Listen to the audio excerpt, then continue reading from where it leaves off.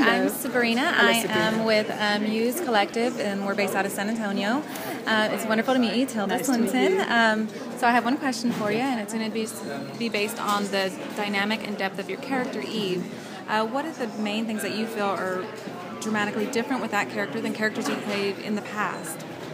I mean, the, the, the character of Eve is something very close to me and very dear to me. And uh, the great relief of it is that she's built on this gesture of kindness in the world. And that's something that I really, really mind about. And so to me, it's very relaxing to play this character. It's very, something very close to my own. Uh, to my own spirit, and uh, it's, it's, it was very um, very easy. It was full of ease because there is no mask really there, uh, and it's uh, so it was a very light load for me.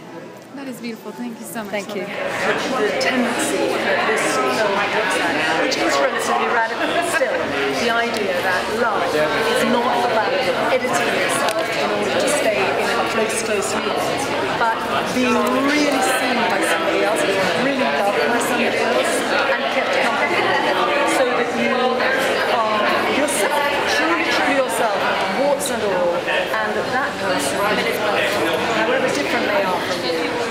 try and change you, that will just keep you company while you are